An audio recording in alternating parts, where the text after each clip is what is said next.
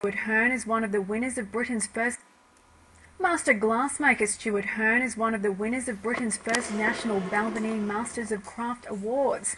The recognition aims to highlight the importance of the UK's traditional craft industry, worth some £3 billion a year.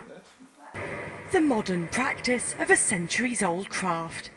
Stuart Hearn has been blowing glass for almost 30 years. The master glassmaker makes his pieces by hand with his assistant Hayley at his workshop in East London. I would say it's colourful, functional, um, but decorative at the same time, but also very simple in its form. His products are intended for galleries and craft stores, or they're commissioned by individuals or firms. Along with six other British craftsmen and women, he's been honoured at Britain's first National Balvenie Masters of Craft Awards. Stuart Hearn.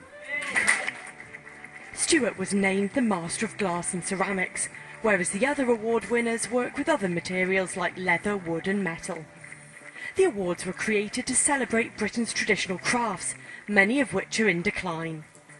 But small businesses like Stuart's and 11,000 other similar firms in the UK play a vital role for the economy. The sector employs around 90,000 people and generates close to £3 billion a year. Government spending cuts have hit the arts hard in Britain. But Stuart says while the recession was tough for his business, he believes it's brought with it a resurgence in crafts and bespoke products made by hand.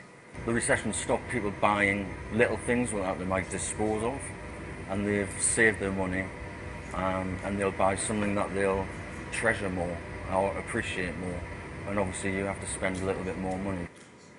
Stuart is hoping the award will boost his order book, especially as he prepares to launch his own online shop. And in training Hayley, he'll be helping to pass glassblowing on to the next generation. It's actually quite good. I'm sure this is actually quite